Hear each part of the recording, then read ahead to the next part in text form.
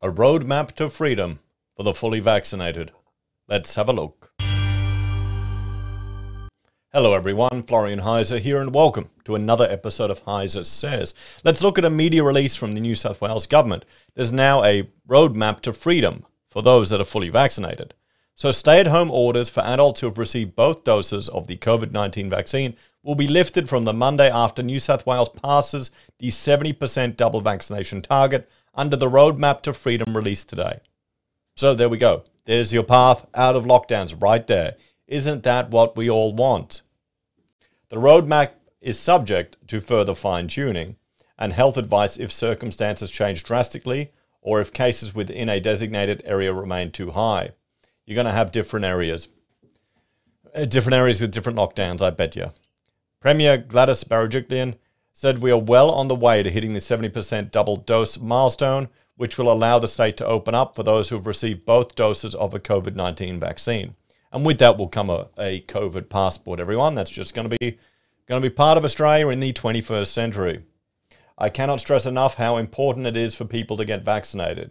If you have not had both doses of the vaccine by the time we hit the 70% milestone, you will not be able to take advantage of these freedoms, Ms. Berejiklian said. Deputy Premier John Barilaro said the New South Wales government has worked with industry to design this roadmap, which is our biggest incentive to get vaccinated to reach the 70% target as soon as possible. Our roadmap outlines the freedoms that twice vaccinated people will enjoy once we reach a 70% double dose which means a meal with loved ones or a drink with friends is just around the corner, he said. Only fully vaccinated people and those with medical exemptions will have access to the freedoms allowed under the reopening New South Wales roadmap. The freedoms for vaccinated adults will come into effect on the Monday after New South Wales hits the 70% double dose target and include gatherings in the home and public space. Up to five visitors will be allowed in a home where all adults are vaccinated, not including children 12 and under. Up to 20 people can gather in an outdoor setting. This doesn't feel like how it used to be, does it? Still restrictions, still limitations. Venues including hospitality, retail store, and gyms. Hospitality venues can reopen subject to one person per four square meter inside and one person per two square meter outside, with standing while drinking permitted outside. Retail stores can reopen under the one person per four square meter rule. Unvaccinated people will continue to only be able to access critical retail. Personal services such as hairdressers and nail salons can open with one person per four square meter, capped at five clients per premises. I'm assuming that's five clients at a time, not during the day. You'd hope not. Gyms and indoor recreation facilities can open under the one person per four square meter rule and can offer classes of up to 20 people. Sporting facilities, including swimming pools, can reopen. Stadiums, theatres, and major outdoor recreation facilities. Major recreation outdoor facilities, including stadiums, racecourses, theme parks, and zoos, can reopen with one person per four square metres capped at 5,000. Up to 500 people can attend ticketed and seated outdoor events. Indoor entertainment and information facilities, including cinemas, theatres, music halls, museums, and galleries, can reopen with one person per four square metre or 75% fixed seated capacity. Weddings, funerals, and places of worship. Up to 50 guests can attend weddings with dancing permitted and eating and drinking only while seated.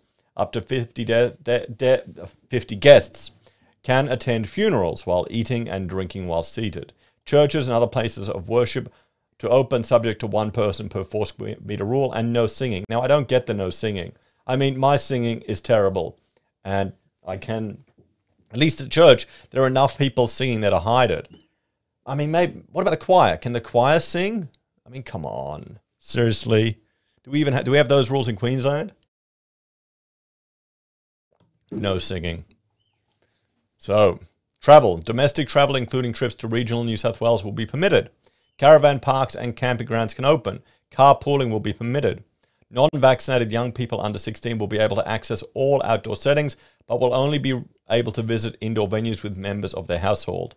Employers must continue to allow employees to work from home if the employee is able to do so. They want to, they want to limit people's potential exposure to this illness. And I, honestly, they're going to be people that'll want to work from home and never go back. Never go back to the office. You can't blame them. There will be revised guidance on isolation for close and casual contacts who are fully vaccinated, with details to be provided closer to the reopening date. So, masks. Masks will remain mandatory for all indoor public venues, including public transport, front of house hospitality, retail and business premises, on planes, and at airports. Only hospitality staff will be required to wear a mask while when outdoors. Sucks to be in hospitality. Children under 12 will not need to wear a mask indoors. Treasurer Dominic Perrottet said the easing of restrictions would come as a huge relief to struggling businesses and workers who just want to get their lives back on track safely. Yes, he's right there. I mean, this gives hope for businesses. If you've got a business that you want, you know, you don't, uh, there comes a point where people aren't going to care about the politics. They just want business to run. They want to be able to open up again. The problem is they'll open up, they'll get ready, they'll get all excited, and then something will hit the fan and it'll all go out the window again. I hope not. This roadmap gives us a light at the end of the tunnel we all want and will enable our economy to start firing again, driving our state back to prosperity, he said. Health Minister Brad Hazzard said the government will continue to be guided by the health advice and may still require targeted restrictions to deal with outbreaks. As we work towards reopening New South Wales, it is vital people continue to come forward and get vaccinated to help protect the community and reduce transmission of the virus. When New South Wales hits the 80% double dose target, the government intends to open up further freedoms around international travel, community sport, major events, and other areas and they're encouraging you to book in for your vaccination as soon as possible. So, what's the takeaway or the solution to this, everyone? Well, it's encouraging they have a plan. Feels like they haven't had one. Let's just hope they stick to it and open up so people can get back to work and we can put this sorry mess all behind us and remember who put us through this at the voting booth. That's what my suggestion would be. What do you think, everyone? Do you think this plan will go ahead? Will this encourage people to get vaccinated or will it harden more people against it? Let us know your thoughts and opinions on this one in the comments down below. As always, thanks for watching. Like, share, and subscribe to the channel. If you're a fan and enjoy the content I create here, there are a few ways you can support us. You can join us on YouTube or Patreon. Sign up for SelfWealth or Stake. Use our affiliate links at Amazon, eBay, Independent Reserve, or Aussie Broadband. Take care, guys. Have a great day, and I'll see you next time.